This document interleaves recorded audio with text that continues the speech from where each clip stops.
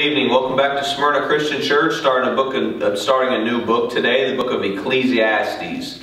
The word in the Hebrew for Ecclesiastes is koheleth, and it means the assembler or the convener. It's also called the preacher in the English. And who wrote this was Solomon, the, the son of David, who would take the throne after David died. And it, it see, people um, they disagree on on when this was written or what part of Solomon's life it was written. But I think it was it's very likely that it was written at the very end of Solomon's life. We learn in 1 Kings chapter 11 that Solomon allowed his hundreds of foreign wives to turn him over to idolatry. He started to worship their gods, fell into idolatry. But you see, what he's basically all throughout this book of Ecclesiastes, Solomon is telling us do not follow the ways of the world. It's, it's all emptiness if you just follow the ways of the world. Anything other than following God is just emptiness. So I think it's very likely that at the very end of Solomon's life, he did repent and he came out of the idolatry and, and that he, he started to serve Yahweh again, the one true God. Now, that, that's just my opinion, but uh, you'll see why I think that as we go through this book of Ecclesiastes. And it, it's interesting that there's a phrase used in this book, it's under the sun. And the, the phrase under the sun is used 29 times in the Bible, and all 29 times is in this book of Ecclesiastes.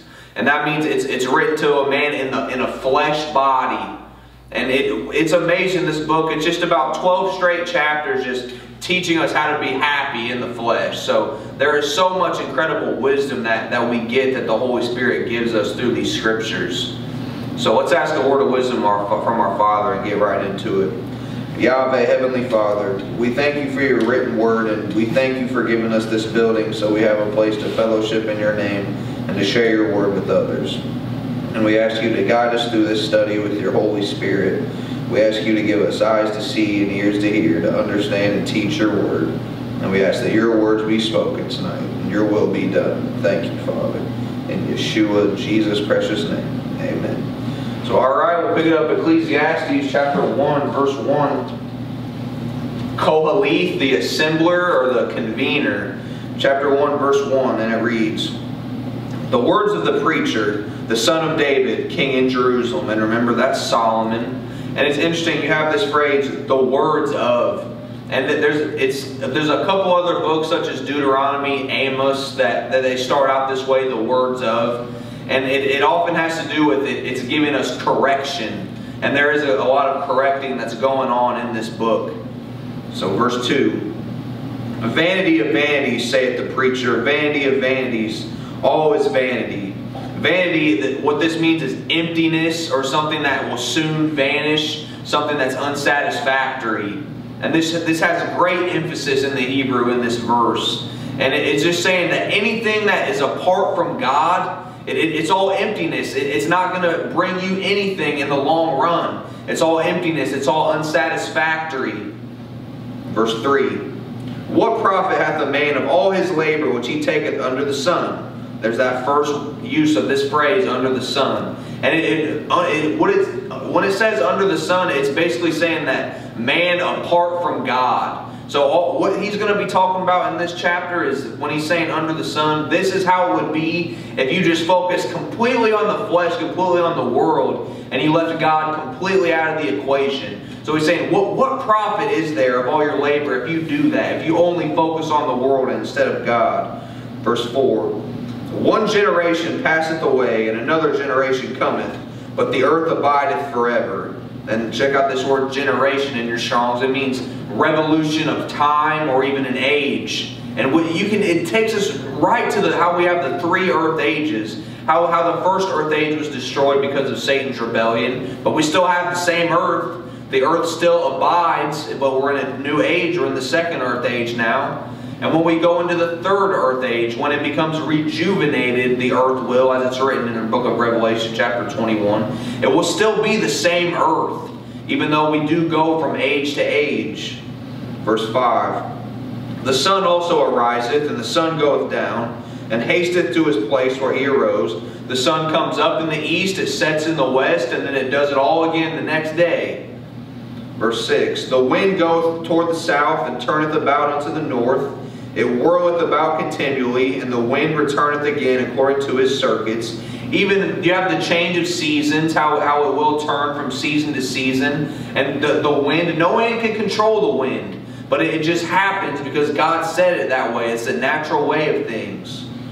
Verse 7 All the rivers run into the sea, yet the sea is not full. Unto the place, unto the place from whence the rivers come, thither they return again the rivers run into the sea and then you have you have that humidity the evaporation. It comes up and it turns into clouds and then it rains and then it starts all over again. That perfect cycle. And what, it, what we're going to get to is that, that there's nothing new under the sun as we're going to read. It all remains the same when it comes to the world to nature and to, to anything actually. Verse 8 all things are full of labor. This means weariness Man cannot utter it. The eye is not satisfied with seeing, nor the ear filled with hearing. If you were to only focus on the ways of the world and things you could gain, your eye would never be satisfied with the things that you see. I mean, you're just going to continually want more and more and more because you won't be content. The only way to actually be content in this world is to have the love of our Heavenly Father, the love of Jesus Christ. Or else you'll never be content. You always just want more and more and more. But as Paul would teach us in his epistles, he said, I learned to be happy, to be content with whatever I have. And that's how that's the peace of mind and the happiness you get with the love of Jesus Christ in your heart. But if you don't have that, you're just going to be continually seeking more and more, and you'll never be satisfied. Verse 9 The thing that hath been, it is that which shall be, and that which is done is that which shall be done, and there is no new thing under the sun that everything that already has happened will happen again, basically. That's why it says in 1 Corinthians chapter 10, verse 11, it says all these things that happen, and it's giving you different details of things that happened in the Old Testament. It said all these things happen for examples, for our admonishment, for our warning, upon whom the ends of the earth shall come. So that, that's why we look back to the Old Testament so often, and we see what happened there, because it's going to happen again. And that, that's why it's... you it would be the biggest mistake you could make just to leave off the Old Testament because it gives us all the types to show us what's going to happen even to the future today. So there's nothing new under the sun. Verse 10. Is there anything whereof it may be said, See, this is new? It hath already, it hath already of old, it hath been already of old time, which was before us. It, everything that's happened before will happen again. Verse 11. There is no remembrance of former things. Now, you see the, the word things is in italics. That means it's been added. From the Hebrew, this should be translated as the word men. So let's read it as it should be translated. There is no remembrance of former men, neither shall there be any remembrance of men that are to come with those that shall come after. And, and think about it. I mean, you, we don't even know who our, our, our great, great, great grandfather, I mean, we don't even know who they were. We don't even know who their name, what their names are. So this is saying times goes by and people get forgotten. It, does not matter what you gained in this life because you can't take anything with you except your works, your righteous acts. So if you just went through life just trying to just build up treasure on earth, but you never served God, guess what? Another two or three generations, it's all completely forgotten, and everything you did was for nothing if you didn't try to serve God and you only tried to please yourself. Verse 12. I, the preacher, remember that's Koheleth, the convener, the assembler, was king over Israel in Jerusalem. And remember, this is Solomon, David's son. Verse 13. And I gave my heart to seek and search out by wisdom concerning all things that are done under heaven. Now it's very important that you don't read over that. He said that he's seeking the wisdom of all things that are done under the heaven. And some manuscripts, even here, it reads under the sun. So it's saying he sought out to seek wisdom of the flesh, of the world, trying to figure out all he can about the world. Not God's wisdom, but he's just trying to figure out anything that he can about the world, how it is, how people act. This sore travail hath God given to the sons of man to be exercised therewith. And the exercise means that they will be humbled and when you just continually just seek after wisdom of the world, it will make you very weary. It will make you tired, and you will be even humbled by it because you realize that it's all vanity, it's all emptiness. Verse 14 I have seen all the works that are done under the sun. And behold, all is vanity and vexation of spirit. Remember, vanity means emptiness, something that soon vanishes, something that's unsatisfactory. And this vexation of spirit, check it out. Ve vexation means to grasp after. And spirit is, is ruach, is the wind. So what this is saying is just like chasing the wind. If you just if you seek out philo philosophical research, you're just trying to see, oh, what, what happens here that makes a man act this way? Or what, what why are people acting this way? And you're just seeking out philosophy. It, it just it brings you nothing. And just like it says in Colossians chapter 2, verse 8, it says, Beware lest anybody deceive you through philosophy, through the traditions of men. You're only going to be brought down by it. It's not going to give you happiness. It's not going to give you any true wisdom, which only comes from God. Verse 15. That which is crooked cannot be made straight, and that which is wanting cannot be numbered. And when you do just seek, you're seeking after philosophy, you're seeking after the different things of the world, you, you start to see all the bad things that are in the world, and you realize you can't make that straight. There's nothing, there's nothing you can do to help that and what's wanting cannot be numbered. You start seeking after other things that you maybe wouldn't have even ever thought of if you hadn't looked into these ways of the world. But now all of a sudden you're seeking after them, you want them. And it can't even be numbered, all the things that you now want, because you decided you wanted man's wisdom instead of God's wisdom. Verse 16, it only brings sadness. It won't do anything for you. Verse 16, I communed with mine own heart, saying, Lo, I am come to great estate. This means he came to great power. And no doubt Solomon was the most powerful man in the entire world at that time. And I've gotten more wisdom than all they that have been before me in Jerusalem. Yea, my heart had great experience of wisdom and knowledge. But what did it do for him? Let's find out. Verse 17. And I gave my heart to know wisdom and to know madness and folly folly, it even means infatuation. He, he became infatuated with his foreign wives. He became infatuated with, with their heathen gods. And he fell into idolatry because he sought out the wisdom of men instead of the wisdom of God. I, I perceive that this also is vexation of spirit. He was just chasing the wind. And you see, at this time of this writing, he realized that that's all he was doing was chasing the wind. So that's, that's why, because of the things like this that are written in this book, I think it's most likely he wrote this at the end of his life. But once again, that's just my opinion. But he, but he thought, he, he, I mean, he realized it was just chasing the wind when he was doing this. It did nothing for him. Verse 18, For in much wisdom is much grief, and he that increaseth knowledge increases sorrow. Remember, this is the wisdom that he saw of things done under heaven. I mean, he saw how wicked the world was, realized, I can't do anything about this. He saw how evil some men are, and all it did was bring him sorrow. It brought him grief. Well, that's what, that's what you get when you seek the wisdom of the world. When he could have been seeking the wisdom of Almighty God and would have brought him the exact opposite. It would have brought him peace, happiness, comfort. So understand that the wisdom of the world, it will do nothing for you. Let's go right into chapter 2. Chapter 2, verse 1.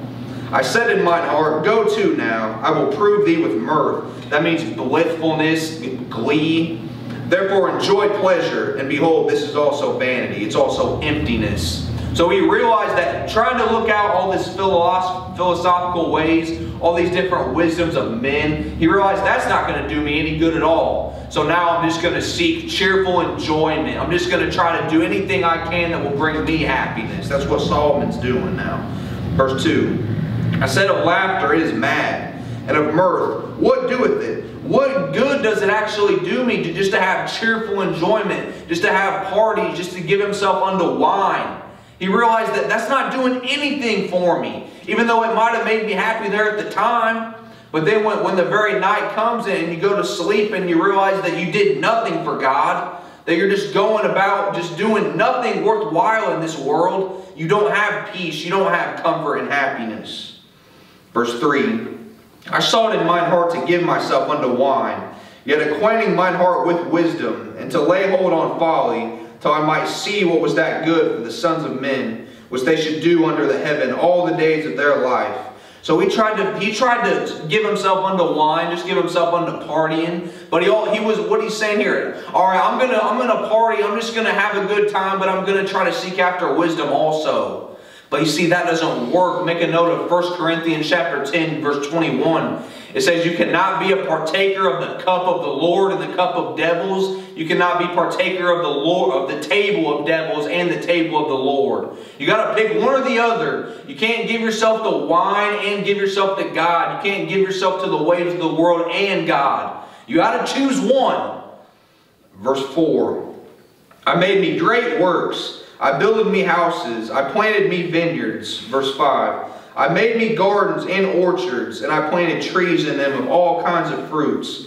Check out this word orchards in your Strong's. The Hebrew word is paradise, and it, it paradise, and it, that's even what it sounds like is what it means. It means a paradise.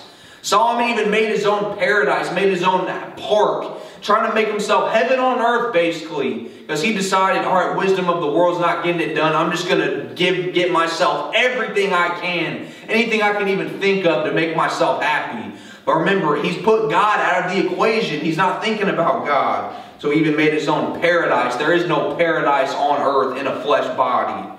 Verse 6. I made me pools of water to, to water there with the wood that bringeth forth trees, the forests. Verse 7. He even, I mean, he had his own irrigation system going. I mean, he had it going on. He had everything. The most powerful man, the most, the richest man in the whole world. But he's saying it was all emptiness. Verse 7. I got me servants and maidens and had servants born in my house. Also I had great possessions of great and small cattle above all that were in Jerusalem before me. I mean, he's saying, I, I am more, I am richer than anybody that there's ever been. The richest man in the world, he, he had servants, so then, then, he, then he's taking them to, as wives, and then there he's even getting kids that are just becoming servants in his house. I mean, all, he would have just had to say the word, and anyone would have done anything for him. But it didn't bring him happiness. Verse 8 I gathered me also silver and gold, and the peculiar treasure of kings and of provinces it says in 1 Kings chapter 10 verse 27 that Solomon had so much silver in Jerusalem that it was just as if it was just stones. I mean, just so much gold, so much silver. It, it, it was just so much you couldn't even imagine how rich he was. I got me men singers and women singers and the delights of the sons of men as musical instruments and that of all sorts. I mean, had his own band, had his own orchestra. I mean, he could have just walked, or if he wanted, he could have just been walking around and had his own theme music going. I mean, Solomon had everything that you could ever imagine. Verse 9.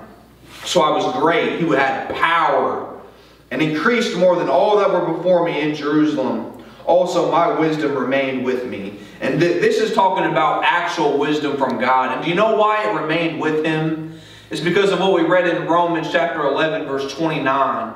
It says that the calling and the gifts of God are without repentance. Because God, God did give Solomon so much wisdom. You remember when I said that he was the he was the probably the wisest man that there ever was in the flesh, aside from Jesus Christ, because Christ is Emmanuel, God with us in the flesh. But as far as actual men go, Solomon was the wisest there, there ever was, and we're going to read that. But his wisdom remained with him because God had a purpose for Solomon. His purpose was to write this book of Ecclesiastes, to write Proverbs, to write the Song of Solomon. So God gave him that gift without repentance. So that wisdom remained with Solomon. Now let's document where it says Solomon was the wisest of them all. Turn with me back to 1 Kings chapter 3. You got Kings right after Samuel and right before the book of Chronicles. So for, remember, Kings is written from man's point of view. Um, Chronicles is written from God's point of view. So we're going to pick it up in 1 Kings chapter 3, verse 5.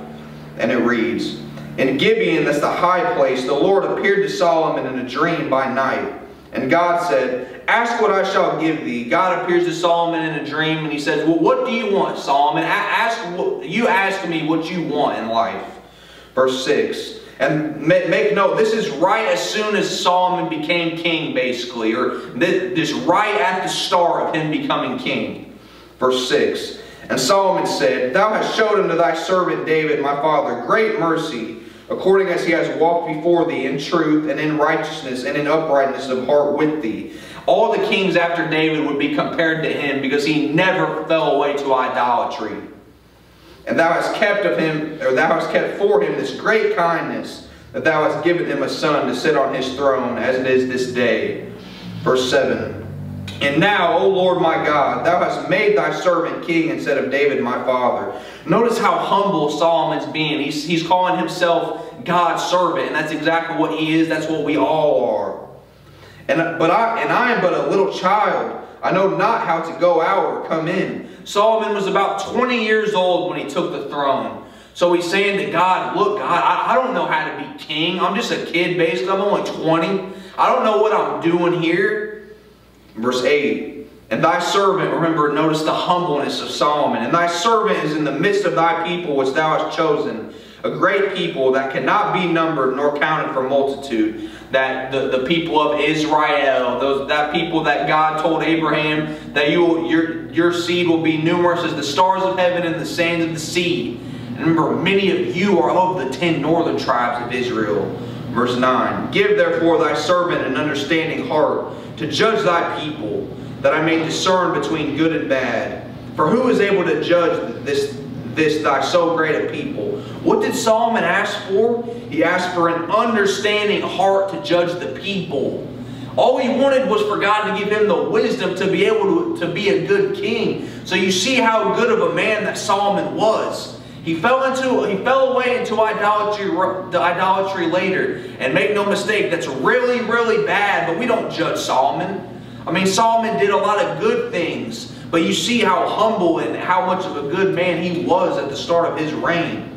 All he asked for was a, an understanding heart to judge the people. Verse 10, And the speech pleased the Lord that Solomon had asked this thing. And of course it did. I hope you understand how much it pleases the Lord when you ask him for wisdom. Not just for yourself, but why did Solomon ask for it? He asked for it so he could be a good king to the people. And it pleases God so much when we ask Him for wisdom so that we can be, we can be a help to the people. So we can share God's Word, for God give us the ability to simplify it so anybody can understand it. That pleases God greatly, and you will be greatly blessed if you ask for blessings, not necessarily for yourself, but to help others. Verse 11 And God said unto him, Because thou hast asked this thing, and hast not asked for thyself long life, Neither hast asked riches for thyself, nor hast asked, nor hast asked the life of thine enemies, but hast asked for thyself understanding to discern judgment. 12. Behold, I have done according to thy words. Lo, I have given thee a wise and an understanding heart, so that there was none like thee before thee, neither after thee shall any arise like unto thee. I mean, the wisest man there ever was because he, because he wasn't seeking the things of the world at this time. He only wanted wisdom so he could be a good king to the people. So God gave it to him exactly as he asked. But what else did God give him? Verse 13. And I have also given thee which thou hast not asked, both riches and honor, so that there shall not be any among the kings like unto thee all thy days. And we just read in Ecclesiastes it came to pass. I mean, he was so rich. He was the richest of them all had his own band, had his own irrigation system, made his own paradise. I mean, Solomon had everything. Well, why? Because God gave it to him. Because God blessed him. So I hope that you would never listen to somebody that will try to tell you it's a sin to be rich. Because Solomon was the richest of them all because he was blessed. You read in the book of Job, chapter 1, that Job was one of the, he was basically the richest man there was at that time. The richest man of the East at that time. And it said that Job walked with a perfect heart and he hated evil. So he was blessed by God. He was very wealthy. So it is no sin to be wealthy if it's by the blessings of God. But if it's by the ill-gotten gains, yeah, then you then you got to take it off if you want to enter the kingdom of heaven. But riches is a blessing if you if it, you get it from God. It is no sin. It's a blessing. So God's going to give him all those things, and he didn't even ask for it. But God gave it to him anyway because he had a sincere heart. Verse 14. And if thou wilt walk in my ways, that's a condition, don't overlook that. If thou wilt walk in my ways to keep my statutes and my commandments, as thy father David did walk, then I will lengthen thy days. There is always a condition when it comes to God's blessing. You got to walk in his ways. You got to keep his commandments. You got to do your very best to follow God's way and his law. We all sin. We all fall short. But when you do sin, just repent and it's erased, and then don't commit that sin anymore. But I mean, you will be so blessed. Look how much God blessed Solomon because he had a sincere heart. And he only wanted to help his people. And he'll, I mean, he'll do the same for you. He will give you wisdom. He will make you prosperous in anything you do. And that's biblical. If you set your heart to follow him at all costs. Okay, let's go back to Ecclesiastes. Let's just do a couple more verses. Back to Ecclesiastes chapter 1. Or no, we're in chapter 2 actually. Picking it up, chapter 2, about verse. Ecclesiastes chapter 2, verse 10. Ecclesiastes chapter 2, verse 10, and it reads. And whatsoever mine eyes desired, I kept not from them. We're back to all he, all he wants to do is just make himself happy, just give himself whatever he wants. I withheld not my heart from any joy for my heart rejoiced in all my labor, and this was my portion of, of all my labor. He, he just used any chance he get just to have fun, just to have a party, just to bring himself happiness of ways of the world. Remember, this is not at the beginning of Solomon's reign. At his beginning, he had a, a sincere heart toward God. But then he, he lost his way. And because, because, he, because he just decided, I, who knows why exactly he started doing it, but one of the main reasons, 1 Kings chapter 11, he had 700 wives and 300 concubines, many of them who were foreign. And they worshiped, and they worshiped idols, they worshiped gods that don't even exist. But Solomon fell away into it, even into Molochism, even to sacrificing children to the fire. I mean, Solomon fell into it. But that wisdom that God gave him, it still remained with him, and it gave him the ability to write this book of Ecclesiastes to, to let us know, don't go in the way that I did. God given us this scripture to make you understand that, it, that you can fall away. Even the wisest man there ever was, Solomon, he fell into the ways of the world. So God's given us this scripture to make sure that we do not do it the wisdom of the world doesn't do anything for you, and just to try to bring yourself happiness with ways of the world, that doesn't do anything either. Let's go one more verse, verse 11.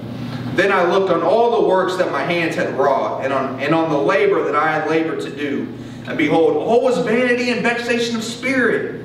And there was no profit under the sun. It was just like he was chasing the wind. That's what that vexation of spirit means. I mean, he had no profit under the sun trying to get all this philosophical wisdom that men said. And you'll see people trying to do that today. You'll see them go off precedent rather than let, us find out what God's Word says. Oh, well, let's see what the elders of the church said. But you see, that doesn't get you anywhere. It doesn't matter what the elders of the church said. It matters what God said. So God given us this amazing book of Ecclesiastes, this book written to man under the sun and uh, to show us that you, no matter how rich you are, as Solomon was, he was the richest man, he was the most powerful, but he had no happiness. It was all emptiness. It was all something that would soon vanish, and it was, it was just, it was nothing to him. Because remember, and we're going to read in the, when we get to the 12th chapter of Ecclesiastes, when your flesh body dies, your spiritual body goes back to the Father that spiritual body that we were in for eons of time before God placed our soul in our mother's womb. So, and remember, what, what is the only thing you get to take with you? It's Revelation chapter 14, verse 13, Revelation chapter 19, verse 8. The only thing you get to take with you is your righteous acts, your good works, and you will be rewarded by them. But as far as money, as far as just, just playing around, having a good time, that does nothing for you in a flesh body. But don't, don't make the mistake also. God gave us this world so we could enjoy it. He gave us things that could bring us happiness. But so what's the point? You don't seek them instead of seeking God. You seek God first always. And so Solomon didn't even ask for riches. He only asked for wisdom. Yet God gave him riches. He gave him long life. And it will please God so much to bless us when we just seek after Him and His wisdom, not for ourselves, but for the people. And He will give us even things that we did not ask for. Let's go to our Father's throne. Yahweh, Heavenly Father, we thank you for your written word, and we thank you for this book of Ecclesiastes that so you, you told us exactly how we can be happy in these flesh bodies, and we, we just thank you so much for giving us this wisdom that would be impossible to attain without studying your word. We just thank you for giving us the ability to understand your word and to share it with others. And we get we thank you for giving us this building so we have a place that we can share your word with others exactly as it's written.